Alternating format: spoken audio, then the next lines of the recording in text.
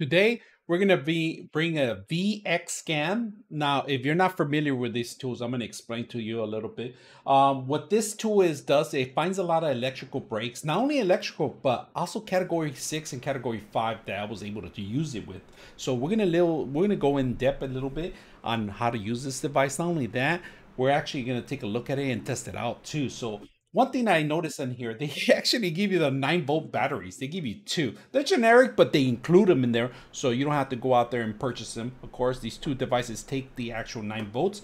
The great thing about it is they give you some headsets here too, because this thing's a lot, a lot noisy. And not only that, if you're in a construction area, you need to be concentrating on the actual activity that you're going to be working with. So if you're looking a, a break on the line and there's a lot of uh, moving parts all over you, this is a great, great addition to this system because not a lot of people understand that if you work in the construction field, you're going to pretty much tone be tone deaf to the actual sound. You're going to hear everything else. So this is a great item that they include in here. This is a plus. This is a plus. It, it, might not be sound like a lot, but when you actually see it and you're actually in the construction field in the area, this is pretty good. Now, they give you the, the actual device that actually locates the breaks and the electrical currents, of course. Um, they also include a flashlight in here. If you guys notice, we're going to turn it on right now just for a bit and we're gonna turn on the flashlight. It's a little LED light, but it comes in handy. I like that they do that. And there, there's actual an, uh, a mount here that we're gonna actually set it up. Now, in order to work on it, you have to turn it on, and of course, you have to take out the screwdriver to add the 9 volt battery before prior to doing that, right? So you do need a Phillips, a little tiny little Phillips to actually unscrew that and put the 9 volt battery in there. Um, once you turn on the device, it stays on pretty much on one end, and the other end, this is the most important part, right? This will have to go through the beginning of the electrical line and you have to turn it on, of course. And once you turn it on, you could do a fine or you could do the tone. So right now, we don't have anything touching the system, so there's not going to be any noises right now. So um, you if you hit this, it'll start beeping automatically. And of course, the signal gets closer as you get closer to the actual system. And this thing is loud. It is loud. Um, back there's a volume control here in the top that I'm doing it right now.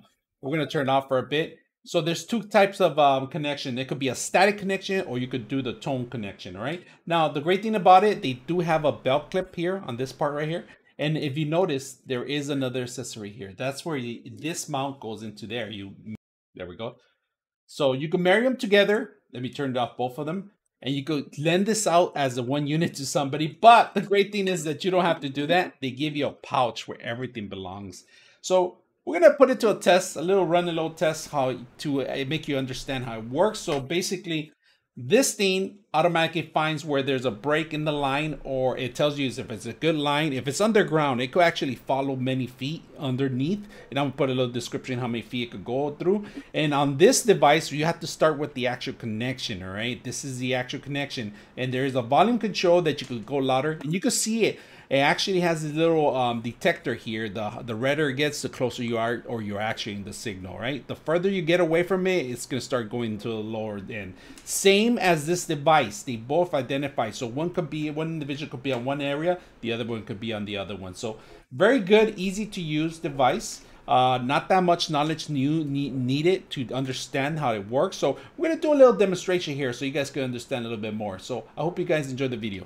Running the line prior to running line, you got to make sure you grip it in there. Make sure that it's high already. If you guys notice, it's on right now. And, and you could find it as a toner.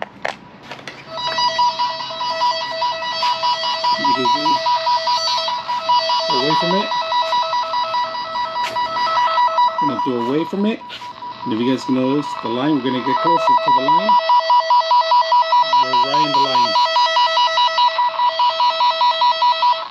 From the line. That's in discovery mode. I'm gonna show you guys something. So we're doing a category six, category five cable, right?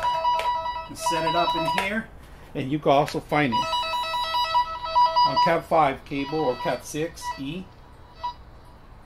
See that? So between walls or underground, finds it on both ways. Not away from it, right there, away from it. on it. So away from it, on it.